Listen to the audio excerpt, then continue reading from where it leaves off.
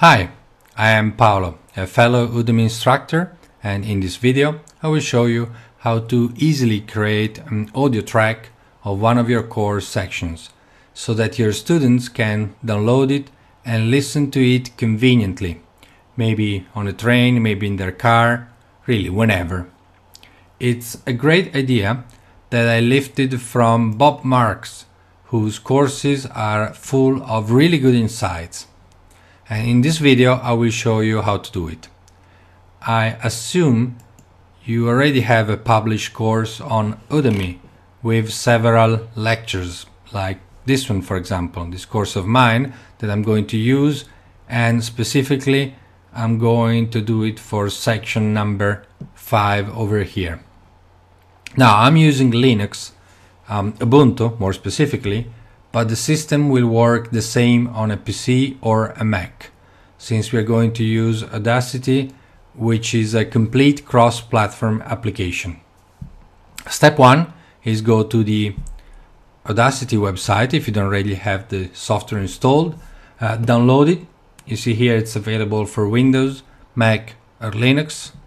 Uh, so get it on your computer, install it, set it up, and when you're ready, we can get into action, of course, by launching the software as I'm doing right now. Now, um, this is a very powerful piece of software that can do a hefty amount of things. But today, uh, I will focus only on the task at hand. And the first bit is to get the audio out of a lecture. Now, your setup and your path, of course, may uh, vary and, and your files may be in different position. But for me, I always edit the audio when I'm cutting the final video. So to make sure that I have the right audio of the lecture, I'm going to extract it uh, directly from the final video, the one that is published on Udemy. And to do so, I go on File, Open, and then I have to navigate uh, through my video courses until I get to my video lecture. In this case is SP English lectures and the first one of this section is number 21 and this is the video of the lecture which of course has also the audio. Now the good news is that Audacity can do it quite seamlessly because if you just open the video uh, file you will see that an audio track will be extracted and appear on your screen. Actually, you will see in a few seconds that it's two tracks, or to say it better, it's just one track with two different channels, left and right. Um, now, um, I believe that you know providing the audio for just one track um, or an audio file for every single lecture would be too many files for the students. And on the other side, to provide a single audio track for the whole course would be really too big, a huge file, and less convenient for the students to move inside the different bits uh, when they listen only to part of it. So what I'm going to do, as I said, is just to provide a single file for a section which is the same, I believe, as Bob does too.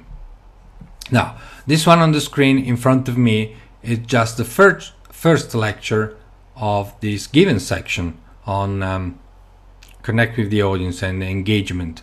So what I need to do now is to append the other lectures of this section. Audacity per se doesn't have a pure append command, but achieving the desired result is really quite simple. You go on File, Import, Audio, and, and then you go for really for the next lecture, which in my case would be number 22. Again, I'm using the video file because that's where my final audio is.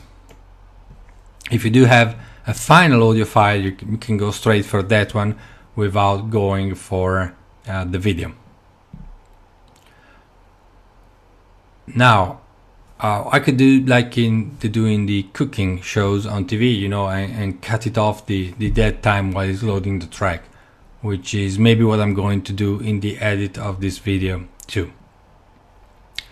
But in the meantime, I would like to tell you that if you use Audacity, you can use it also to achieve other desired things like checking the audio level of your tracks, uh, maybe remove noise, or maybe amplify the signal to make sure that you get a decent audio in your lectures.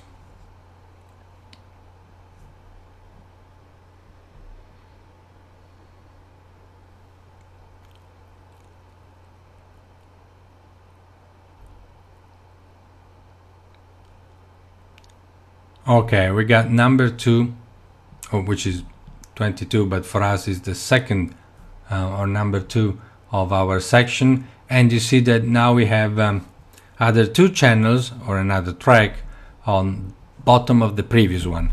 Now what we need to do, or what I'm going to do, is to import all the others too. So I go on and repeat the same thing, import audio for all four of them.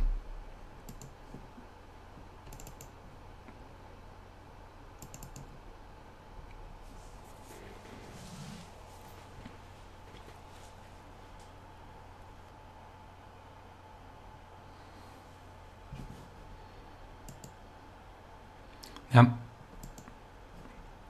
Number three is here. And finally, the last one.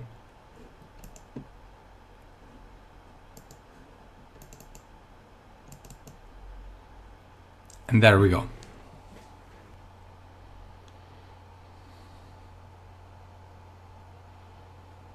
Okay, all done. Now, you see we have uh, four different tracks but they are not yet sequential. They all start at the same time. So what we need to do is make sure that everyone begins after the last one. And to do so, there is um, tracks, align tracks, and I will use start to cursor uh, function. But before I can do that, I, what I need to do is first of all select the track that I want to align and in this case would be the second one which is this one. Now if you click anywhere on the track you will see it becomes selected because it looks darker. And, and now I need to tell the software where I want it to start. And to do so I move my mouse uh, at the end of the previous one and then I just click. And you see there is um, there is a line showing up um, and this is the would be the where I would like my track uh, to start. Now, if it's not right, you can keep on clicking and move it around until you find the the proper space. And you may need, depending on how how big are your tracks, you may need also to zoom in or zoom out if you want to be more uh, precise in terms of seconds, okay, where you put this line. But let's say that this is where I want uh, my line and now I can go and do tracks align tracks and start the cursor. Now you see that the track has been shifted and now track 2 uh, it's moved on the timeline and follow the first one. And ideally I have left it a little bit of space in between the two so that is clear for the students where one lecture finishes and the next one begins.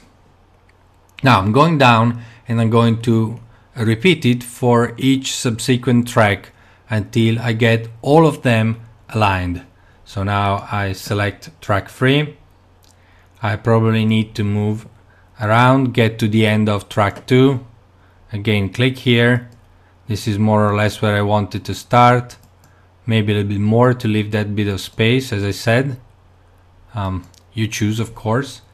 Tracks align tracks start the cursor and there you go. And finally I need the last one number four. Again scroll to the end of lecture 3 click. Tracks align tracks start the cursor. Now you see that we we achieved what we wanted. We have all four of them one after the other. And of course I could zoom out to show it better to you. And now you see that all the tracks one follow the other. That's what we want. Now it's time to generate the audio track.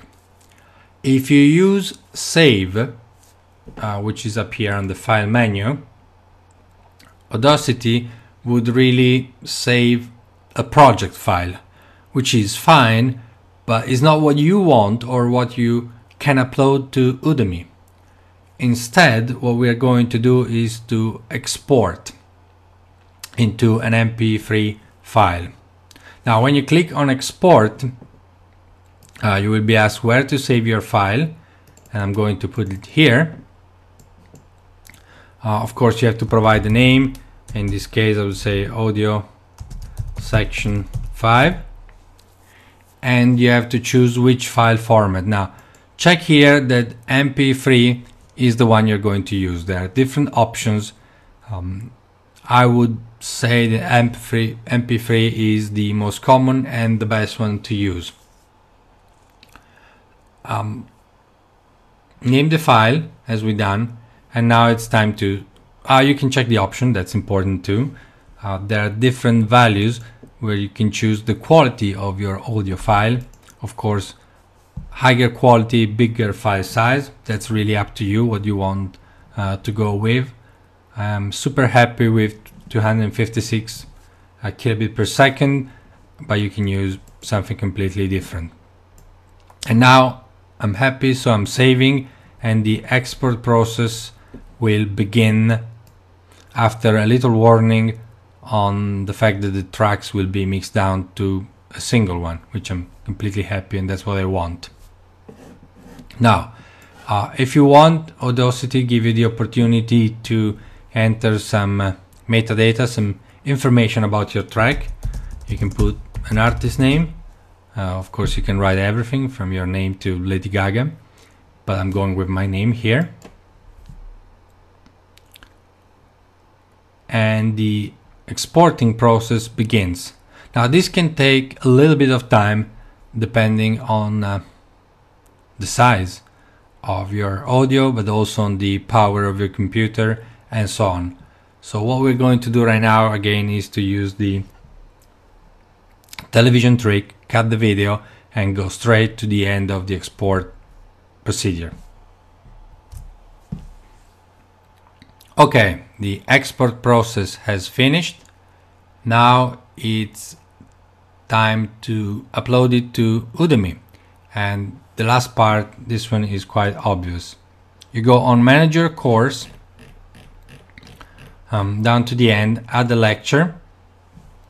Then you can give whatever name you like. I would say section 5 full audio. I need to move it, of course, to, to section 5. I normally like to put it at the end of my section.